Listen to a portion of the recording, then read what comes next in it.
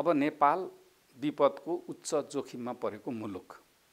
हाम्रो विकास गर्ने शैली हाम्रा क्रियाकलाप हाम्रा मापदण्ड हाम्रो सुशासन प्लस अन्तर्राष्ट्रिय स्तरमा भएको जलवायु परिवर्तन यो सबै मिसाउँदाखेरि हाम्रो यो जुन गति थप्दै थप हुँदै जान्छ त्यस कारणले यसलाई सम्हाल्नको लागि हामीले एउटा छुट्टै जलवायु परिवर्तन विपद व्यवस्थापन भनेर एउटा मन्त्रालय नै छुट्टै गर्नुपर्छ अब।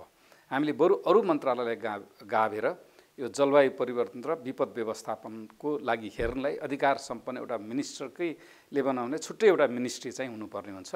जसको काम यो जलवायु परिवर्तनबाट हुन सक्ने भोलि हामीले अनुकूलन भन्छौँ होइन मिटिगेसन भन्छौँ त्यो काम गर्ने र प्लस यस्ता विपद आयो भने विपदमा उद्धार राहत पुनर्स्थापन पुनर्निर्माण पनि गर्ने।